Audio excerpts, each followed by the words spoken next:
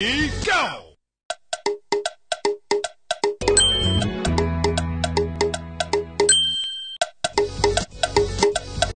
Good day, my wonderful and amiable listeners. I bring to you another news. The news headline. Now, police rule out indigenous people of Biafra sit at home in Delta. The news in details. Delta State Police Command has advised residents in the state to ignore rumors of the planned armed attack by the faceless group masquerading as the members of the outlawed Independent People of Biafra IPOB charged with implementing the so-called sit-at-home order introduced in the southeast states by Biafran secessionists. The Delta State Commissioner of Police, Ari Muhammed Ali, gave the advice yesterday in reaction to reported threats by a group of self-styled gunmen to attack Asaba and other parts of the state, especially in Delta North Senatorial District. Speaking through the Police Public Relations Officer PPRO, Bright Edafe, a Deputy Superintendent of Police DSP, the Commissioner assured residents of the readiness of the police to ward off any confrontation from illegal groups and hoodlums.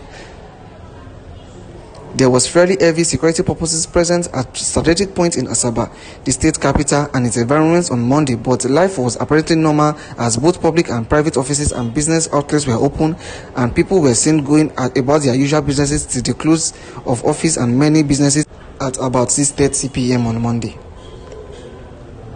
Group of soldiers joined the detachment of policemen on surveillance around the DBS Road, Mariam Babangida Road, Anwai Road, and the Nnebisi Road, which was its usual beehive, with the Ogbongbogo market in full swing and the Cowen Plaza area experiencing heavy, heavy traffic. Okpama Road was also busy with vehicular and human traffic, while the police opened both lanes for the road to traffic for the first time in about a year in front of the State Police Command headquarters.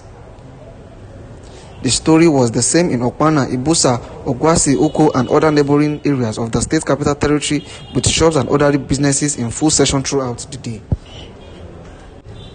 Delta State Police Command has advised residents in the state to ignore rumors of the planned armed attack by the faceless group masquerading as the members of the outlawed Independent People of Biafra IPOB charged with implementing the so-called sit-at-home order introduced in the southeast states by Biafran secessionists. The Delta State Commissioner of Police, Ari Mohammed Ari, gave the advice yesterday in reaction to reported threats by a group of self-styled gunmen to attack Asaba and other parts of the state, especially in Delta North Senatorial District. Speaking through the Police Public Relations Officer PPRO, Bright Edafe, a Deputy Superintendent of Police DSP, the Commissioner assured residents of the readiness of the police to ward off any confrontation from illegal groups and hoodlums. There was fairly heavy security purposes present at strategic points in Asaba, the state capital, and its environments on Monday, but life was apparently normal as both public and private offices and business outlets were open, and people were seen going about their usual businesses till the close of office and many businesses at about 6:30 p.m. on Monday. Group of soldiers joined the detachment of policemen on surveillance around the DBS Road, Mariam Babangida Road, Anwai Road, and the Nnebisi Road, which was its usual beehive, with the Ogbongbogo market in full swing and the Cowen Plaza area experiencing heavy, heavy traffic. Okpama Road was also busy with vehicular and human traffic, while the police opened both lanes for the road to traffic for the first time in about a year in front of the State Police Command headquarters. The story was the same in Okpanam, Ibusa, Ogwashi, Uku, and other neighboring areas of the state capital territory, with shops and other businesses in full session throughout the day.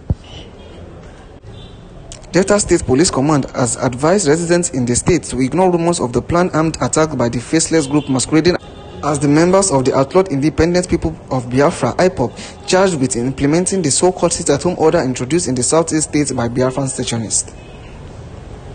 The Delta State Commissioner of Police, Ari Mohammed Ari, gave the advice yesterday in reaction to reported threats by a group of self-styled gunmen to attack Asaba and other parts of the state, especially in Delta North Senatorial District. Speaking through the Police Public Relations Officer PPRO, Bright Edafe, a Deputy Superintendent of Police DSP, the Commissioner assured residents of the readiness of the police to ward off any confrontation from illegal groups and hoodlums. There was fairly heavy security purposes present at strategic points in Asaba, the state capital, and its environments on Monday, but life was apparently normal as both public and private offices and business outlets were open and people were seen going about their usual businesses till the close of office and many businesses at about 6.30 p.m. on Monday.